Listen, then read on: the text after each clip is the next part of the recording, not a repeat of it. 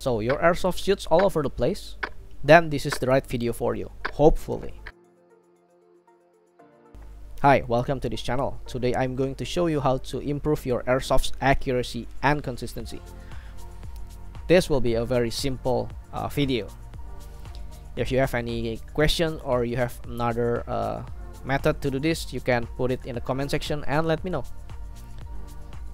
Uh, I will use this M4 AEG as the base platform because it is the most popular platform for airsofters but you can do this uh, step to another platform for example like GBBR, Spring Sniper Rifle or HPA.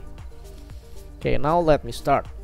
First I'm going to start from the hop-up rubber or the hop-up bucking. So this is your hop-up bucking.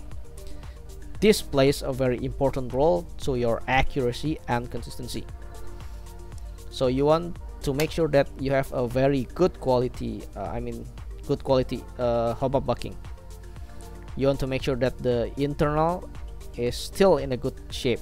In order to do that you can inspect from this side. Uh, you can see it from here. Make sure that the mount is still in a good condition.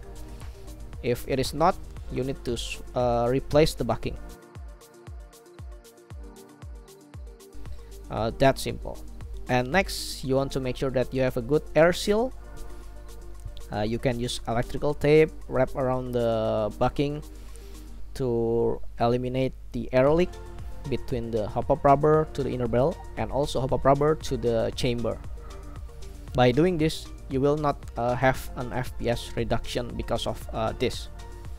And next, I want to talk about the hop-ups, uh, the rubbers placement. So you want to make sure that your bucking is seated at 12 o'clock to the inner barrel in order to shoot straight.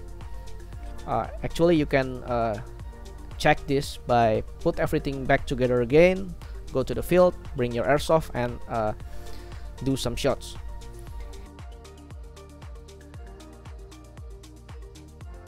If your airsoft shoots to the left or to the right all the time then you need to twist your inner barrel from your chamber a little bit and you put it back and you test it again until you find uh, the straight trajectory from your airsoft. Test burst. By doing this step, you will uh, improve your airsoft's performance a lot, especially when the hop-up is seated at 12 o'clock. Okay, next I want to talk about the chamber. I believe there are some good uh, chamber designs. And this is the first design for the M4 or the V2 gearbox. So uh, when you shoot there will be some vibrations of course and it will uh, create a little movement to the wheels and you don't want this to happen because uh, if it happens uh, you will uh, change your hop-up setting you can put a o-ring right over here or spacer in order to eliminate the movement of the wheel that's for the first gen of the cham M4 chamber.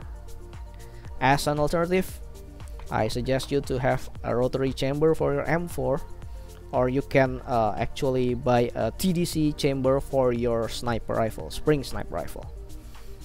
This is a better design because the wheel uh, won't move if you shoot. Even it is stiffer than the the first design chamber. You you actually don't need to buy the metal uh, chamber. You can use the plastic one. It is fine. It still works. And you need to make sure uh, the adjustment wheel. Also a good quality uh, a good chamber means that you can change the setting a little bit in order to give a small increase or decrease to your hop up and uh, that is good okay next is the inner barrel. You want to make sure that your inner barrel is clean and there's no damage inside the inner barrel. Don't use uh, metal BBs, it will uh, destroy your inner barrel.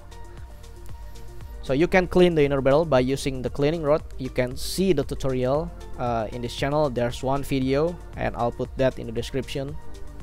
If I haven't, you can remind me. And uh, next is about the inner barrels uh, stabilization you want to make sure that uh, there is no wobble okay let me show you uh, okay this is the outer barrel and here is the inner barrel okay uh, pay attention to this. You don't want to have a, wob a wobble or movement from up to down left to right. Okay you don't want uh, your inner barrel to move. So in order to eliminate the wobble you can use a tape like this. Put it inside the outer barrel not the inner barrel the outer barrel. Don't put it too much. And you put everything back together again. Make sure that the wobble is uh, minimized by doing this step you will uh, increase your consistency a lot because uh, the wobble of the inner barrel has a great effect to your uh, performance airsoft's performance. Uh, next I'm going to talk about the outer barrel. You need to make sure that the barrel nut is tightened properly in order to reduce the wobble. You can test this by moving your outer barrel to your uh, receiver if this uh, moves it should back to its location. Its first location I mean. When you move this it doesn't move back. It means that you need to tighten the barrel nut. Okay that is very important. Make sure you check your uh, outer barrel too. And the last thing that you need to do is uh, actually you need to use a good quality BBs okay a good quality BBs uh, weight from 0.25 or heavier. I don't recommend you to play using 0.12 or 0.2 even it's in CQB because uh, you need to have uh, at least 0.25 gram BBs to have a great uh, performance for your airsoft. And maybe there are still another factors from the gearbox. You want to make sure that uh, it has a great uh, seal inside. You want to make sure that the piston head the seal, uh, the nozzle everything is in the right position. Everything has a good seal. For HPA you want to make sure that the o-rings are in a good condition and so on. So uh, probably there are another factors but you want to make sure that these factors the inner barrel outer barrel uh, the chamber the hop-up buckings they are all in, in the good conditions first because uh, they are easy to maintain or easy to uh, manipulate with this. So okay I think that's all for today's video. Uh, if you have any question put it in the comment section and thank you for watching. I'll see you on the next one